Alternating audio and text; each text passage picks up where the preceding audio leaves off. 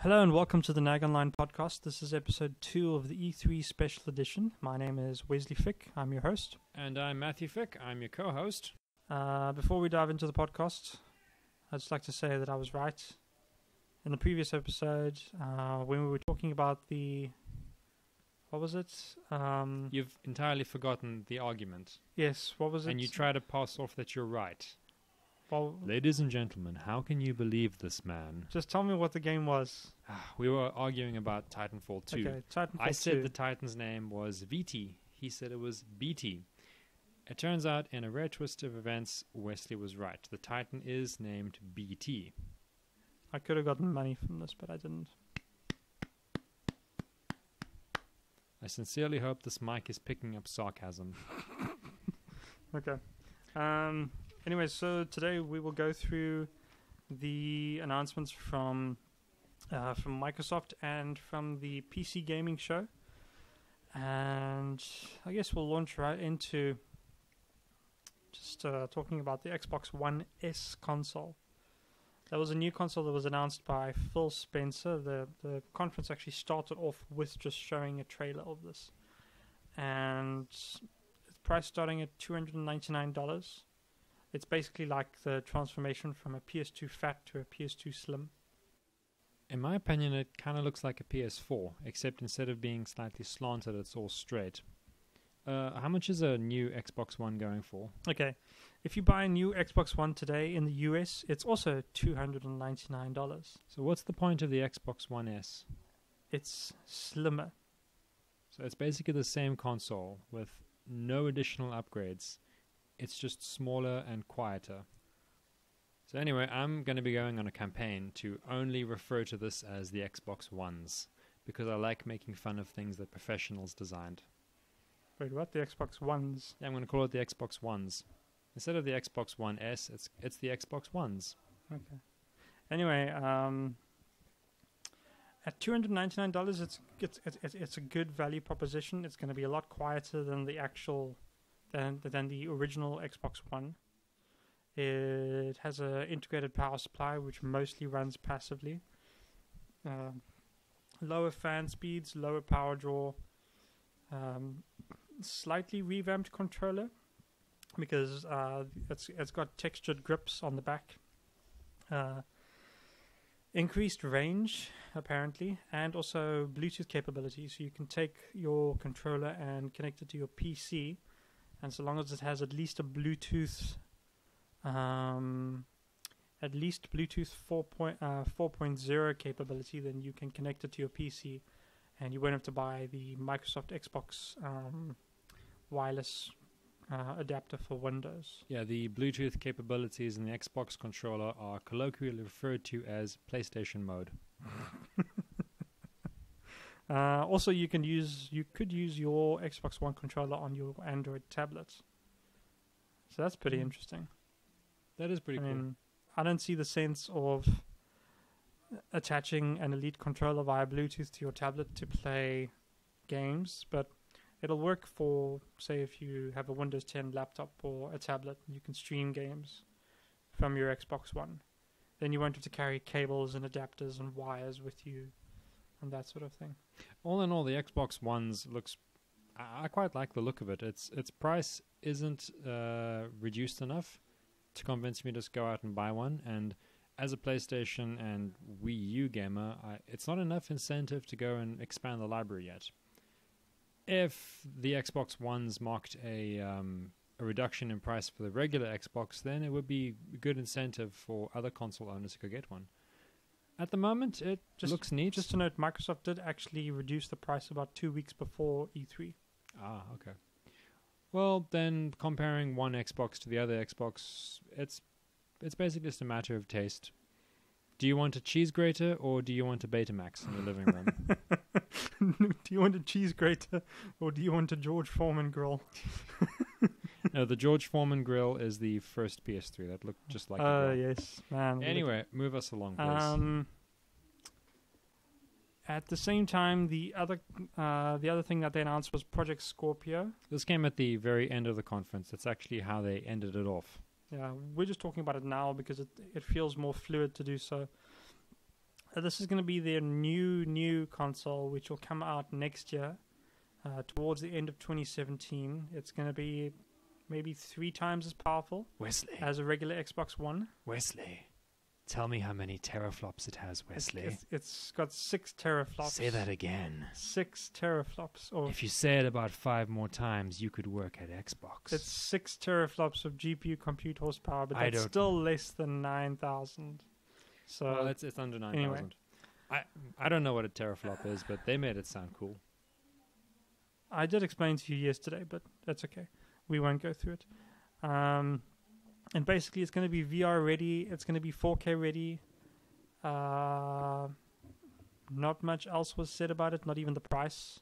So not even what it's going to come packaged in. So it's called the Project Scorpio, but I'm a Libra, and according to astrology, Libra and Scorpio don't go together. Should I look out for a different console? What happens if I'm an Aquarius? I think Aquarius goes just fine with Scorpio. Aquarius. uh, Okay. One of the things that was also shown up in this little promotional video is they have a new fan design for the Xbox Scorpio. Uh, the fan design is like a little G is like a GPU blower fan. It's where it's got a fan that sucks air into into a chamber over a heatsink and expels out the back. Now, um, that's going to be pretty loud. What's funny is that if you're right about this, then Xbox is kind of following a pattern they've established where every new iteration of their console, like every Generation 1 version of the new console, has had noise issues. Yeah. Xbox 360 had a noisy disc tray. that's at least how I think it's going to go. Um, being a 2017 release also makes no sense because uh, announcing it now, or even or even just saying even one of the specs now, which was 320 gigabytes per second of memory bandwidth, doesn't feel anything substantial because you're not going to be able to buy it for another year and a half. I feel like they're potentially trying to compete with Sony on this. Maybe they figured that Sony would announce something about the P- the PlayStation 4K, so maybe they were trying to jump the gate and get their announcement in there first. There, there were there were some people that, that that that said that it felt like the ending of the Sony conference was changed. Um, perhaps they knew that Microsoft uh, was going to announce the Scorpio, and maybe they got some Hmm. advance information about it, which is why they didn't do anything. Anyway, as a corporate move, the Scorpio sounds like it could be quite exciting, and I'll be happy to see how a mid lifespan upgrade works Mm. into Xbox's plans. But honestly, I think they could have ended their press conference on a higher note. Yeah. Something more of a, a whammy. Well, they, they could have ended it on the Xbox One S instead, and then said uh, and then said shipping now instead of shipping in August. Yeah, but they'd have to master time travel to get the factories all tooled up and stuff. I mean, they could have just planned this earlier. I don't know. It would have been nicer. Um, They could have found something a little Yeah, stronger anyway. to end with. Anyway, um, one other hardware update was um, we'll just talk about it briefly. Xbox Design Labs. If you're in the United States, Europe, or Canada, you we, which we are none of those countries, you can you can design your own Xbox controller. You can customize it. You can choose different colors for all the buttons, for all the analog sticks. You can engrave it. You can have it laser laser engraved at the bottom. That's pretty cool. You can get your um, your Xbox gamer tag stamped onto your controller, Yeah. which would be really cool if you're a streamer. Yeah. The funny thing is, is I, I don't think this is the new controller that they're doing this on. It, is still the old one, so it lacks the grips and the Bluetooth ah. functionality and everything. I can't tell judging by the faceplate alone. Uh, you can actually. There's a little. Um, there's a ridge that's missing in the faceplate here, which is on the new, the new Xbox controller. Ah. There's there's like a little design thing missing there. Maybe they have a lot of spare parts for the old Xbox Maybe. controller and they're just rolling out for this now. and also designing a f- just doing a full design of your custom Xbox controller costs you ninety dollars, which is much less than an Xbox Elite controller, which is one hundred and fifty dollars. You could ship a uh, you could ship a fully customized Xbox One controller using Xbox Divine La- um, Design Labs to your house for less than the price of an Elite controller locally. Well, an Elite controller is uh, it's not really comparable to a regular Mhm. controller. It's got more buttons and functionality. Yeah. And we'll also mention in passing that there's a new skin for the Elite controller available, That's the Gears of War 4 commemorative skin. It looks It cool. looks really, really lovely. It's got different um, icons on the uh, on the D-pad. Uh, it's got some really nice decal work. It looks cool. I really, really like it. So let's jump into other things. Um, let's talk about Play Anywhere quickly.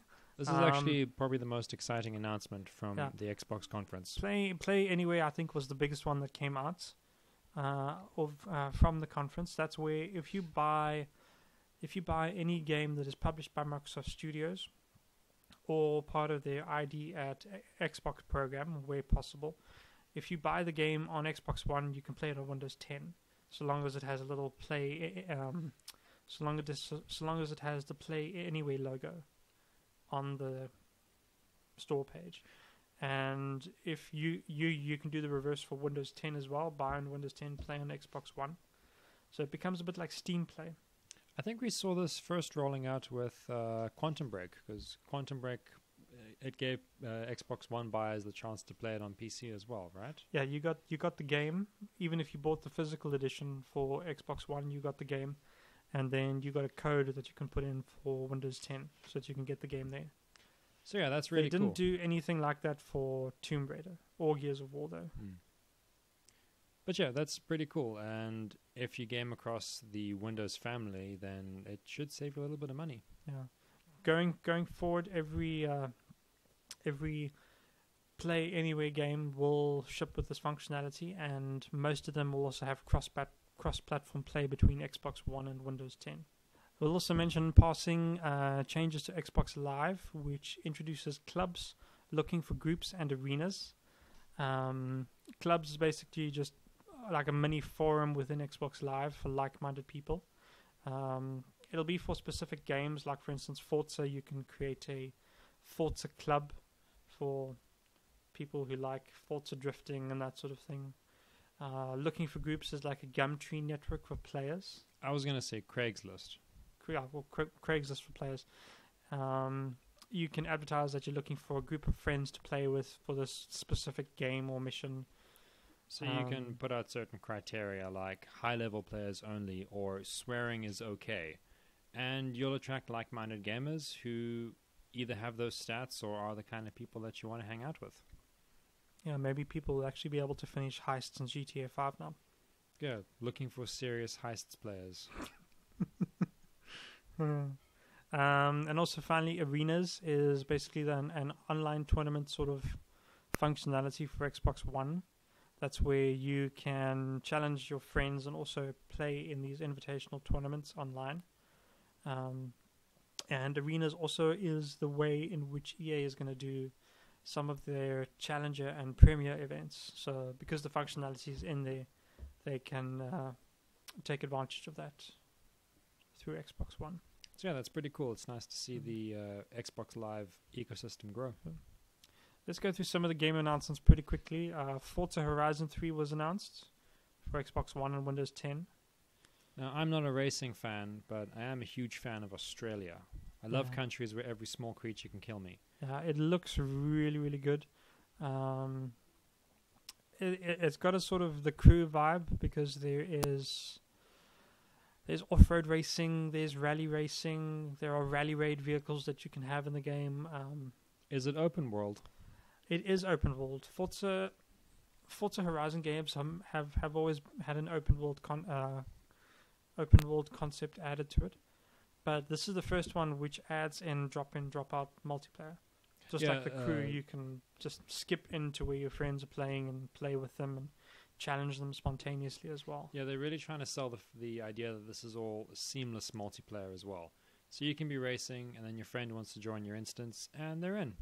You know what that means, though? No. No pause menu, Well, Guys, I gotta go kind of a pee. given. and then you lose the race. Well, you could always attach an elastic to your controller and just drive in circles for a few minutes. Maybe it'll would, count. that would that would probably work. Uh, the game looks amazing. Uh, it's going to come out for Windows 10 as well, of course, being one of the first play anywhere games. And there will be cross platform multiplayer between Xbox One and Windows 10. It just looks so good. I really, really want it. When's it coming out? Uh, Forza Horizon 3 is coming out on 26th of 27th of September this year. Nice. Really good. So moving on, we have a game that we saw briefly at the Xbox conference last year. We have ReCore. ReCore. And another YouTuber was referring to ReCore and they said it looks a lot like Jak 3. Um, it looks like some kind of action platformer where you. I didn't expect the platform elements to come out. Hmm. I thought it, I thought it was just going to be some sort of uh, wild open advent, open world adventure game Hmm. where you had a character sort of like Dog as your companion. Yeah, it looks pretty cool. You play as a highly mobile character named Joule, and you have various robotic minions. And you can take the cores out of other robots and attach them to different robots, and then you can customize your little followers.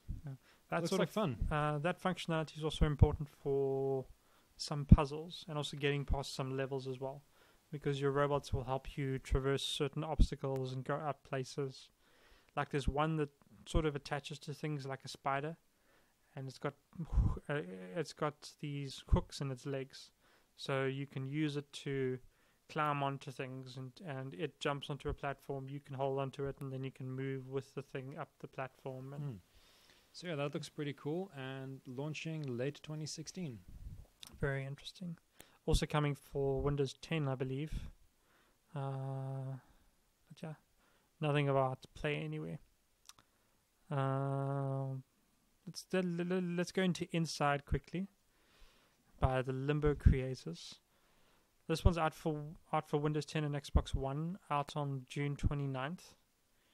And it's a very strange trailer that was shown. It looks like a dark, creepy platforming indie game where you play as a, a young character going through a horrible location. Bit of a coming of age story. So a lot like Limbo, but in a more office like environment. I also read some of the some of the PR material for this game, and it's apparently some sort of social experiment that has gone wrong. Uh, because everything's dark, and obviously there's something that looks like people watching other people in the space surviving. And you play as a child who has been caught inside this web of darkness and conspiracy, and you have to survive. So It could be interesting, and it's coming out uh, June 29th for Xbox One and Windows 10. And in in keeping with really weird indie games, we have We Happy Few. I'm really excited about this game. Watching it, Wesley said it, Wesley said that it was giving off a very Clockwork Orange type of feel. I was getting a more of a George Orwell vibe.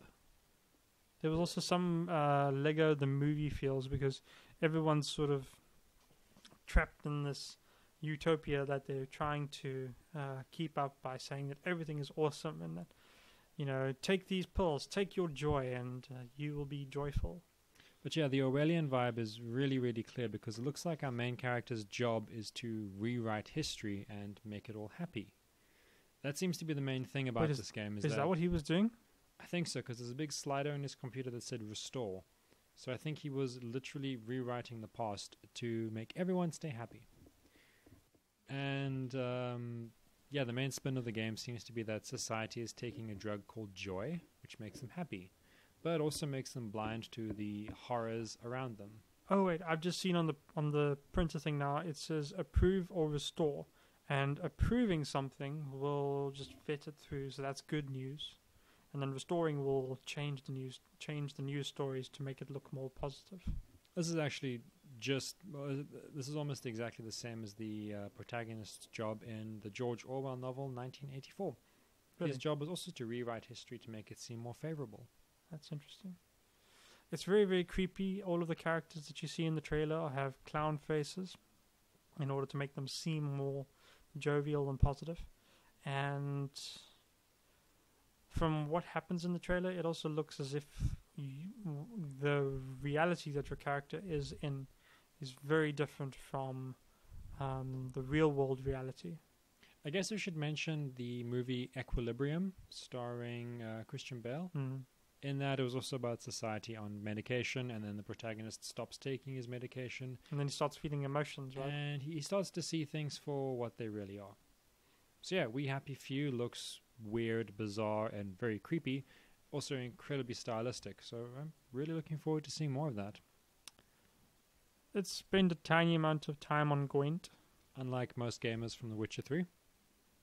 Uh, the funny thing is that during the conference, um, CD Projekt Red came onto the stage and said that they had monitored all these gamers logged into the game, but they weren't completing the game, or completing challenges, or getting achievements, or just sitting there waiting for Steam cards. They were actually playing Gwent inside bars in the game. Well, yeah, I play. Uh, I've been playing The Witcher 3 quite a lot lately, but I've mostly been avoiding the Gwent sections. I gave them a try, and Gwent. Is it because you can't understand Gwent? I can understand Gwent pretty well. It doesn't have any trap cards, so that's a bit of a disappointment. But Gwent is a pretty fun minigame, and uh, there's actually quite a lot to it inside The Witcher 3. And now it looks like Gwent is being spun off into its own standalone game. I think this was actually announced before E3, so yeah, not too much new there. But this was the first time that we saw gameplay for it. And it looks a bit like Hearthstone, to be honest. It actually plays entirely differently to Hearthstone. Wesley doesn't know what he's talking about. That's true. I don't play Hearthstone. He's been playing too much heists instead of playing Witcher 3. Yeah, but yeah, th- this is pretty cool, and I hope it goes. Hope it goes from strength to strength. Maybe it even becomes its own esport. I doubt it. It's a really fun distraction, but it doesn't have as much depth as Hearthstone, for example. Yeah. Uh, let's get quickly into Tekken Seven. Uh, Tekken 7 is coming to Xbox One. That's coming out sometime in 2017. And we got a really cool look at what the story mode would look like, where it, it um, segues seamlessly from CGI trailer to fighting. Didn't didn't didn't you say that you thought that this had been cancelled? At first, well, it, the big surprise was that Heihachi, Tekken. Uh, the biggest surprise was that uh, Tekken regular Heihachi ended up fighting against Akuma from the Street Fighter franchise. So immediately I thought I was actually looking at Tekken Cross Street Fighter, which I thought was cancelled. Eventually, it became clear that Akuma is basically just a guest character in the game. So it's not Tekken X Street Fighter, it's just Tekken 7, but Mm. it looks good. Also, it wasn't clear if this is coming to Windows 10 either, which is very strange. But maybe it will. Maybe it won't. Tekken has always been like a console type of thing. It probably will. I mean, uh, Street, Fighter, has X- always been more PC, uh, PC than anything. Street Fighter's been on mostly been on consoles, but uh, Street Fighter Cross Tekken was on PC. I remember Hmm. that much. Yeah, I look forward to it. I haven't I haven't played a Tekken since Tekken Five. Tekken Five was a good one. Tekken Five. That was a long time ago. I feel very old now. Uh, Dead Rising 4 also got announced. It was a very short trailer. It didn't show off too much. But it did show off the Um, return of Frank West, the protagonist from Dead Rising One. So that's cool. I mean, I've always preferred Frank West. He's just been a bit more of a, a satirical action hero, and it's always fun seeing his completely laid back reactions to the zombies Yeah. around him. If you've ever played a Dead Rising game before, it looks just like that. So that's cool. It looks good, and it all seems to be taking place in the festive season. So there's Christmas trees everywhere. You can kill zombies with um, with candy cane crossbows. Looks fun. Coming to Windows 10 and Windows 10. There's a scroll up here. coming Tw- to Windows holiday 10 and 2016. Xbox One in holiday 2016. So you'll have Christmas in the game and Christmas in real life. It's going to be really weird playing that three months after launch. Uh, we also saw Scalebound for Xbox One and Windows 10. It's coming in 2017. And Scalebound is uh, the next game by Platinum Games. And if I had to sum it up, I'd say it looks like Devil May Cry Monster Hunter. You play as a cool, hip, edgy protagonist. he wears headphones all the time. He's, he's got the spiky shaved hair and a dragon arm. And him and his uh, companion dragon look like they have to take on enemies and fight massive bosses. The trailer at the press conference showed off co op gameplay. And this is where the Monster Hunter reference comes in because each each uh, co-op character was using a different weapon. They were each performing different roles in the battle, and it looks like four-player co-op is fairly essential to fighting against these giant monsters. It's very strange. I don't know if I'd ever play it. The, the main character talks too much. I don't have friends either, so You got me. of course, we'd have to share an Xbox One, or you'd have to play it on Windows. uh, there might be some cross-platform play happening here as well. Still, though, it looks like a lot of fun. Uh, the music is catchy. The action seems pretty good. Uh, then we'll also go quickly into Rare's Sea of Thieves for Xbox One and Windows 10. This honestly felt like the game Ubisoft should have made, but didn't. Yeah, after playing uh, Assassin's Creed Black Flag, all I wanted was an open world pirates game. And now Rare has shuffled out of the basements of Xbox, where they've been kept ever since uh, Banjo Kazooie Nuts and Bolts. And now they're making Sea of Thieves. It's a multiplayer pirate game. You basically have to work with everyone to run a ship, to take down other ships. It's it's just like any pirate game that I've that I've ever wanted. Really, Yes. it looks, it just looks so good. And the trailer they showed at the conference was about 12 gamers who were put into three teams and blindly played the game. They were given Mm. no instructions, no tutorial. They were just unleashed. And one of the teams sat on a beach drinking grog. The other learned how to use their ship. And then eventually one of them just died and sank. If you want, uh, if you want some sort of modern game available now that's more or less the same as this experience, you can go to Steam and buy Guns of Icarus Online, because that has the same sort of concept. You, But with airships. yeah, but with airships, you have a captain, you you have crew members, and the crew members all have to help with fighting other ships and that sort of thing. And so yeah, it's pretty Sea- cool. Yeah, Sea of Thieves looks like fun. Also, the naval battles in this game look amazing. They do look really cool. And what's cool is that if you're the one piloting the ship, you can't actually see where you're going because the sails are in your way. You have Was- to rely on that- navigators to call out directions. Was that traditional for most ships back in the day? I imagine it wasn't. it was. you couldn't see where the ship was going. that's how ships work. But how? It's amazing anything in the past actually got done. But in, in in Black Sails, that's not the case. They always have the masts just like slightly higher, or the bottom of the sail slightly higher so that you can see. In, in black in Black Flag, when you go full sail, the sails drop all the way and the camera just pans out. Oh, okay. Yeah, they found a way around it. So next up, we have State of Decay 2 for Xbox One and Windows 10. This was totally unexpected. Coming in win- in 2017, by the way. Now, the first State of Decay is one of the finest zombie games I've ever played. It basically gives you free roam of a large area and lets you really get into it. It's an amazing game, and it's good to see there's more of it. I know that some people actually play this game believing that it's The Walking Dead. They they just pretend because it's more or less the same sort of environment. The AI is as bad as well. but yeah, I guess you could you could assign different names to all your characters, and you could you could pretend. You can pretend you're Rick, and everyone is not Daryl, so they'll all die quickly. Yeah, it looks like a lot of fun, and I'm looking forward to it. Okay, the la- the last thing on our on our list is, is Halo Wars Two, uh, coming 21st of February 2017 So for yeah. Xbox One and Windows 10. Halo Wars 2 is a thing. It looks quite good. It had an amazing CGI trailers, great music, great visuals, and Halo games have always had really good CGI trailers.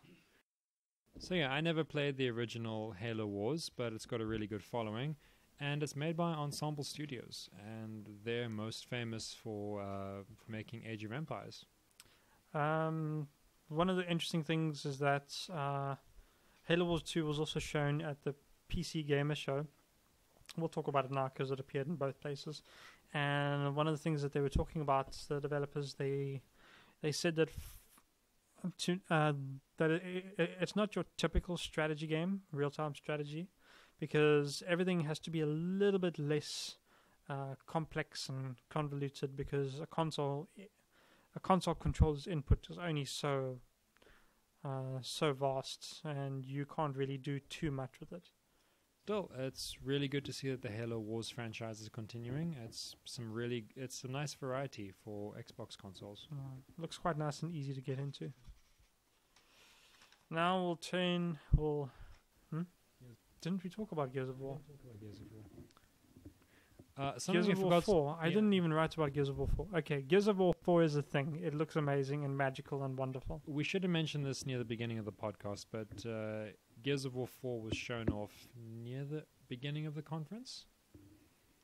It, It, was announced last year. This is the first time we've actually seen like more of it.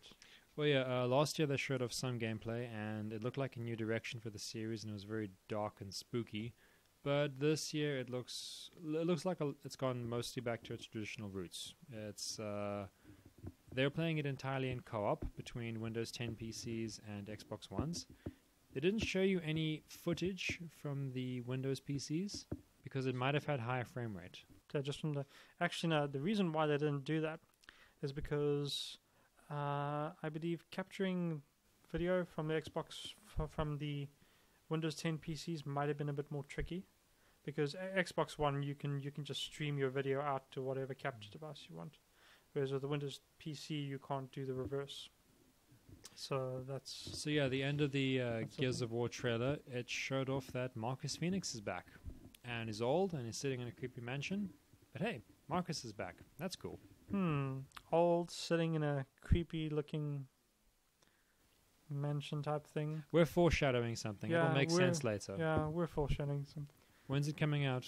Uh, October 11th, 2016. All right, cool. I'm looking forward to it. It'll be fun. And now we change tack into the PC gaming show. Now, I like to think of myself as a bit of a renaissance man when it comes to gaming. I like gaming on all consoles. But I'll be honest, for the PC gaming show, I got up and I made a toasted sandwich. I just watched from the kitchen. The problem was with this is that it overlapped into Ubisoft's conference by about half an hour. So we had to skip uh, um, near near to the end, and then went watched Ubisoft's thing, which we'll talk about uh, in the next episode. but uh, let's get through the tech announcements quickly because that was by far the shortest segment that I want to talk about. Yes, because no PC gamer wants to hear about technology and technology announcements, do Oh, they? Oh, we do, we do, but there was just nothing Mhm. revealed, absolutely nothing. I was being sarcastic. I'm I'm I'm so disappointed. So AMD popped out. Um, Lisa Su came onto the stage and showed off the. She had a small talk about Polaris. She talked about it a little bit, and then she talked about the Radeon RX 470 and the Radeon RX 460. Uh, the RX 470 is more for 1080p gaming. How many teraflops does it have? Uh, less than six, I can tell you that. Xbox ones. Um, RX 470 is for 1080p gaming. It's really weird. They they just didn't say anything beyond that. And RX 460 is positioned as an esports card, which means that it's basically for anyone who has a sh- a really shitty PC and doesn't have a good power supply and just wants to play their games with a decently high frame rate. Uh, also consumes less than 75 watts of power. That is by no means an indication of its actual performance, but it's pretty, pretty non-informative. I was eating my sandwich for this part, so this is entirely the Wesley Fick show. I wish I was eating a sandwich at that point. And then there was there was the Zen prototype showing off.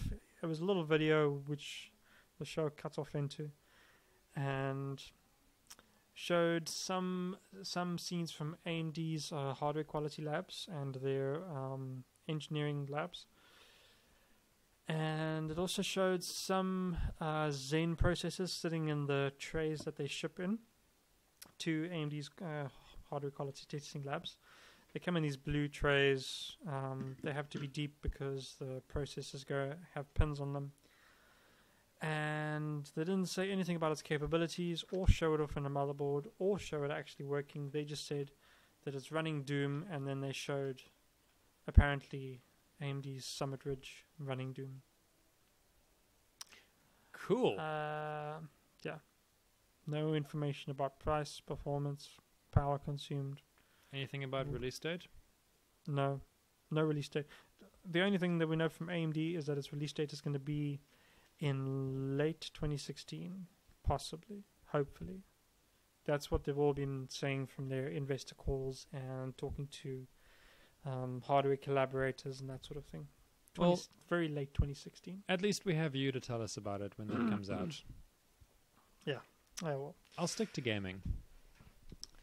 So let's get into some of the announcements. There were uh, quite a lot of them, but none of them were really bombshell type things.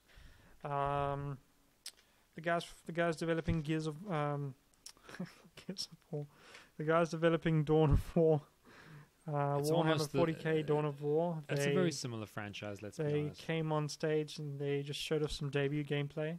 Uh, the game was announced last year, but they'd never shown anything off about it before then. Well, there was a teaser trailer for Dawn of War 3 recently, and the teaser trailer looked great, and the gameplay looks great. And I'm a huge fan of Dawn of War. I love over the top strategy games. I've never played a Dawn of War. That's all right.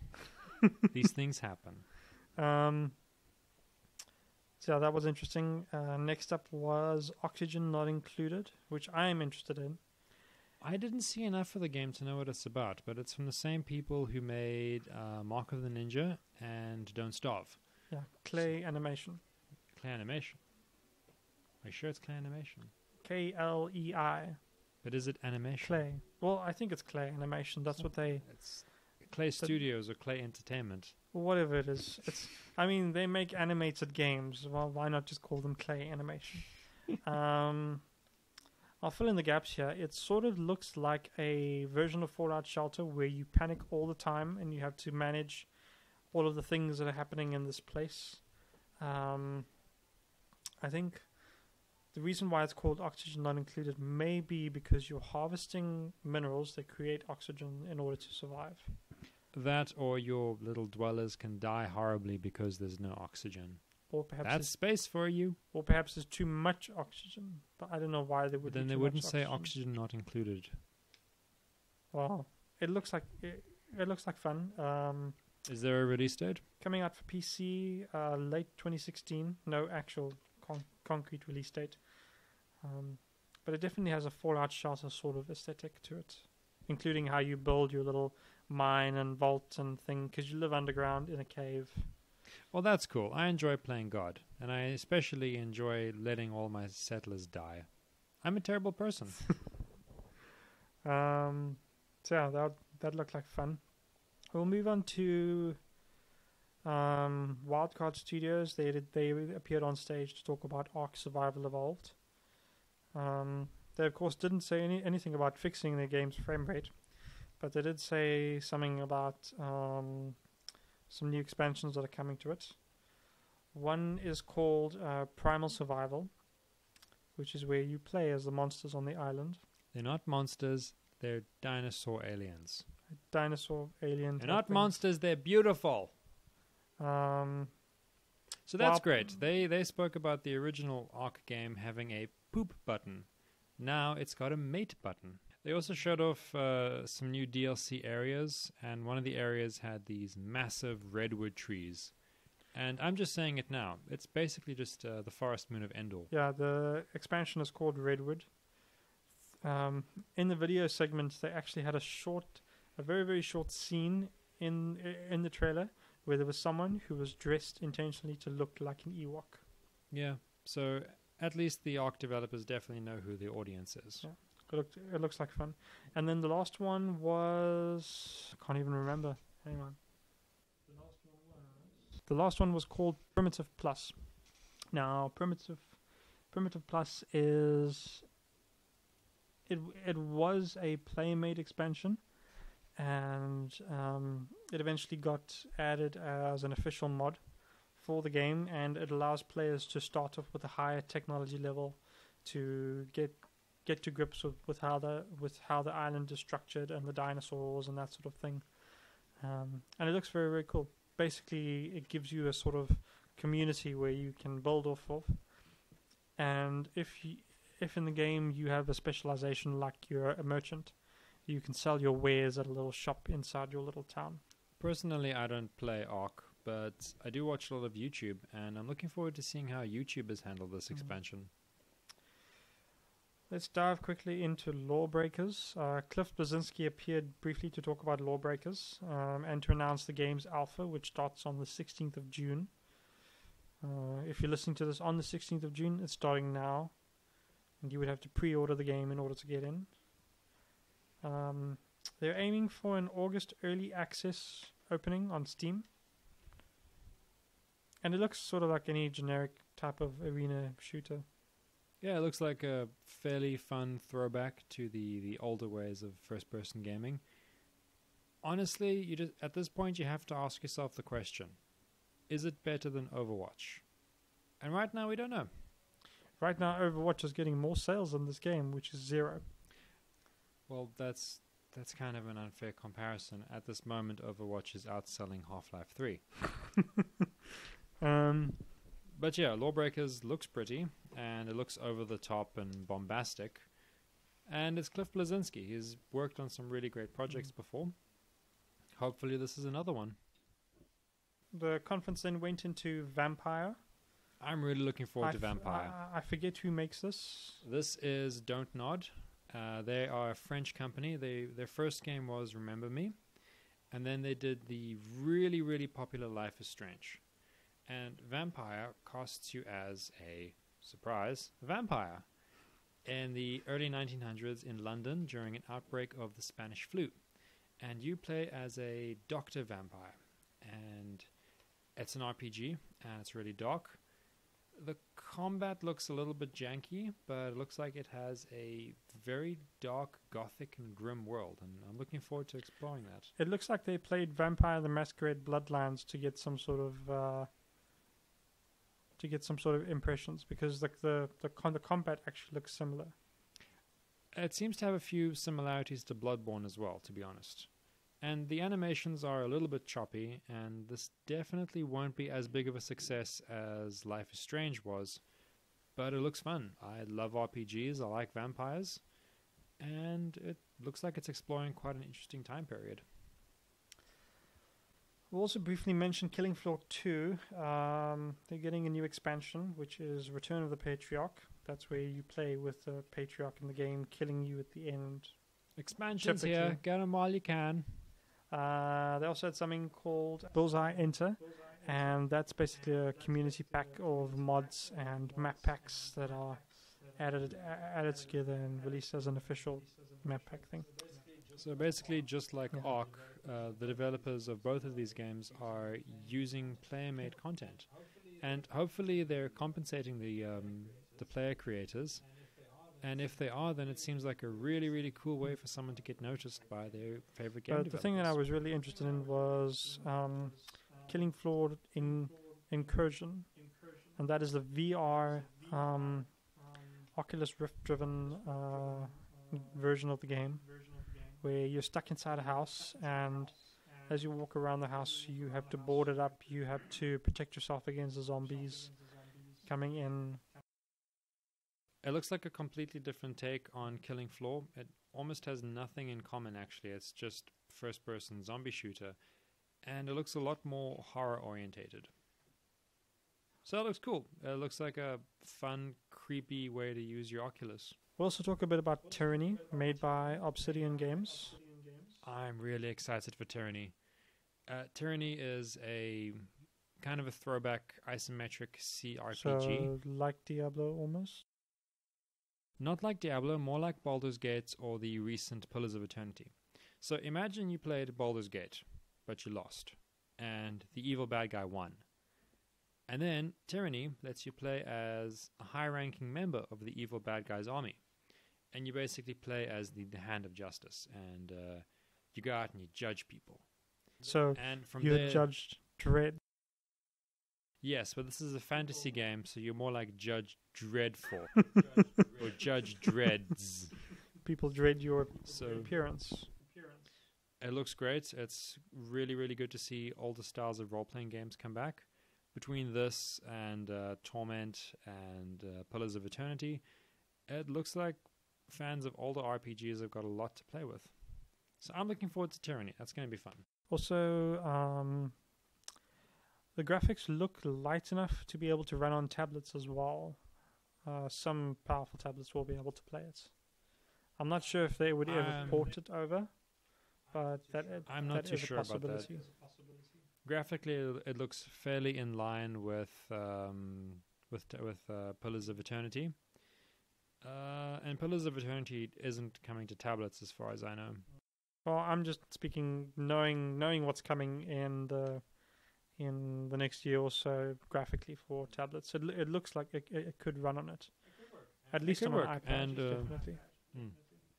And Baldur's Gate is quite popular on tablets as well, so maybe they'll expand to those markets.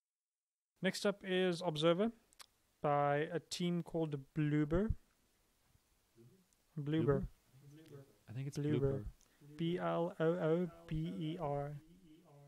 Are you sure you're not just reading your awful, awful handwriting? No, I actually had to correct my awful handwriting to make it Bloober. Because because I, I originally wrote it as Blubber. And then I thought, no, that's completely ridiculous. Why would you call yourself that? Anyway, uh, Observer is a horror VR game. Cyberpunk hidden horror VR game. And the way the developers talk about it is what if your fears could be weaponized? Didn't didn't Call of Duty do that? What if the machines? Yeah. What if you get the keys? No. What if the wrong people get the keys to the machines? Well, that's a little bit different. We're dealing with an entirely different because I was here. getting the keys to basically a, a war machine AI type of. Anyway, Observer looks really creepy. It's got a fantastic visual style, and everything is disturbing and very otherworldly. It's like looking at a Salvador Dali painting. There's the lines are all wrong. There's too many eyeballs, and there are cables and wires plugging into the wrong place, and it looks scary and very creative. And uh, very meta as well. In the trailer, there was uh, uh, towards the end of the level where the player is exploring. You see, you see this girl plugged into a whole bunch of wires with a VR headset on her, almost like an Animatrix type of thing, Kind or of similar. Ghost in the Shell. Looks very Ghost in the Shell. very Ghost in the Shell like. Looks like fun. Uh, that does not have a release date. Or any additional but information. But it does look pretty cool. What also does not have a release date is the Turing test. Turing test looks like Portal, but without the portal gun, and on the on Europa, one of uh, Jupiter's moons. I should mention that it is developed by Bulbhead.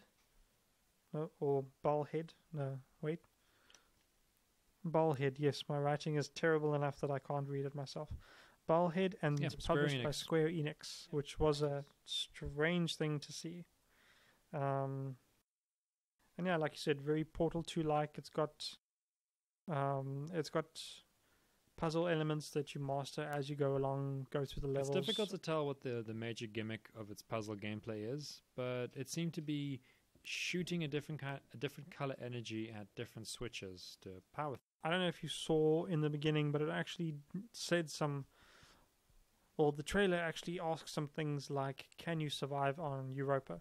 So obviously, this is some th- th- th- th- this is some sort of test that you, as the player, must go through in order to determine whether someone can survive on Europa or not. The thing is, uh, the name is the Turing test, and a Turing test is administered, I think, to an AI to determine whether or not it can be passed off as human. Yeah. So I'm calling it characters a robot.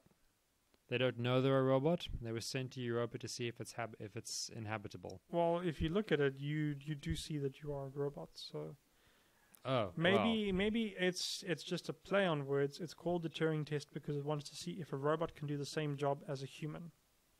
Well, yeah, they can. You better watch yourself, Wesley.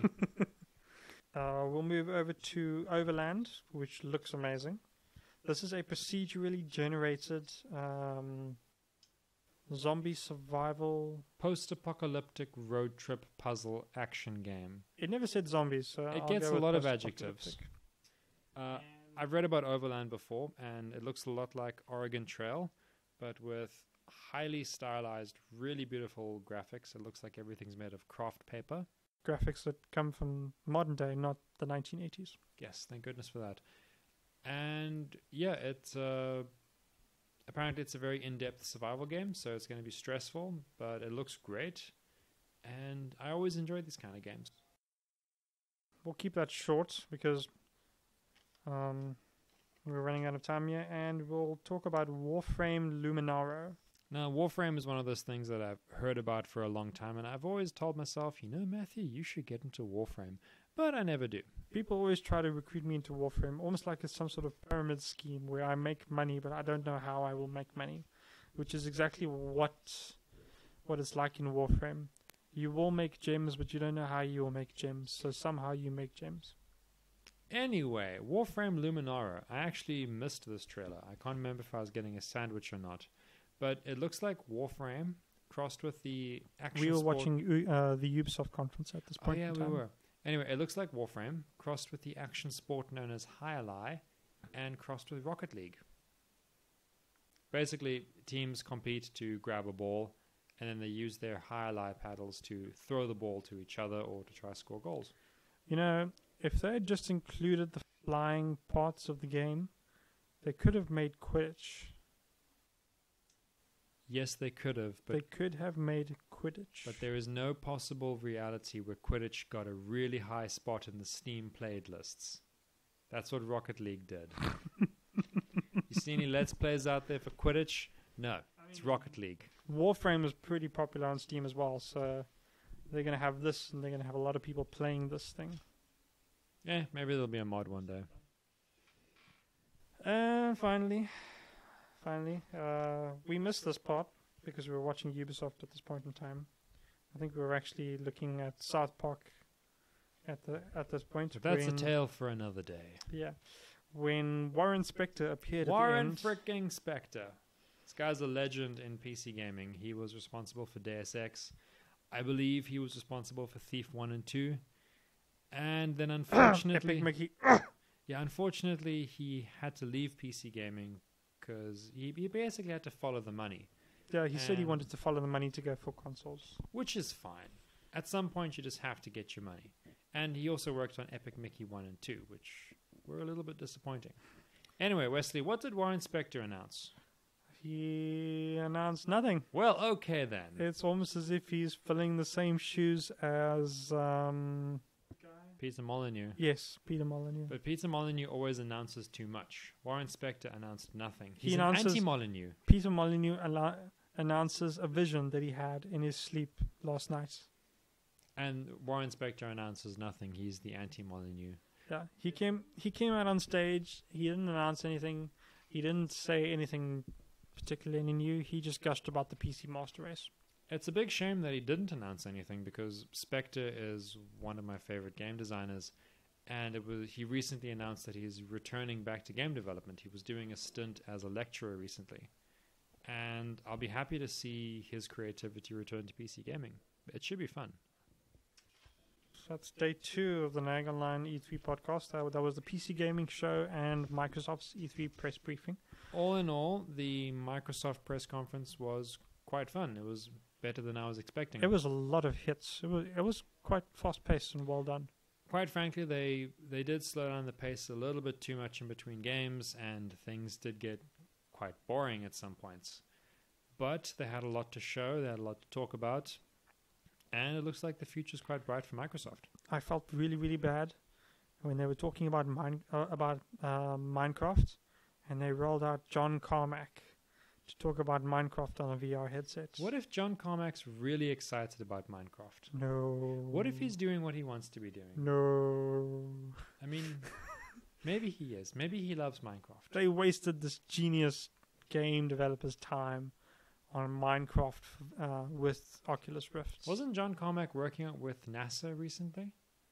No, maybe actually, but he went. He left. Um,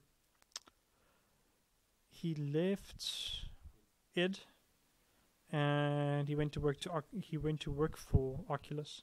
In his spare time, I think he actually designs rockets. It sounds like he has a lot more fun than we do. Anyway, the PC conference, well, the PC gaming show, I'm glad I watched it. And yeah, it's always great to see PC gaming expanding, especially because throughout most of the 2000s, all I was reading was PC gaming is dying. And now it clearly isn't. It's quite a viable competitive platform. So good for you, Master Race. Yeah, I sort of enjoyed watching it up until the point where AMD appeared, and then proceeded to show nothing at all, except graphics cards with with no specs and no prices, and also a video about Zen playing Doom, which main, means absolutely nothing to me. So I wish I could get that part of my life back, but otherwise it was pretty good. It was- And it was pretty fun. that was day two. There was some good stuff. There was some slightly bland stuff, and later we'll have all the we'll have our report from day three, which was Ubisoft and Sony. So yeah, we'll be back with those, and you can stay tuned for them. Thank you all for listening. Have a good one. Cool. Cheers.